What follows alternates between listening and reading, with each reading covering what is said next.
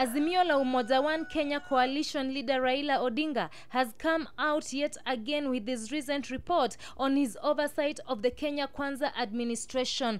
Welcome to Zafarani TV, a Kenyan online political platform where I talk about the Kenyan politics. If this is your first time to be here, welcome on board. Take a few seconds, hit the subscribe button. Please don't forget then to hit the notification button so that every time I upload new content, you'll be notified. The Azimio la Umoja One Kenya coalition leader Raila Odinga has yet again come out criticizing President William Ruto, telling him and reminding him that it is time that he should bring back the Building Bridges Initiative, better known as the BBI. When we go back to the Kenyan history books, we remember the BBI was brought by the former retired president Uhuru Muigai Kenyatta to make certain amendments in the Kenyan constitution.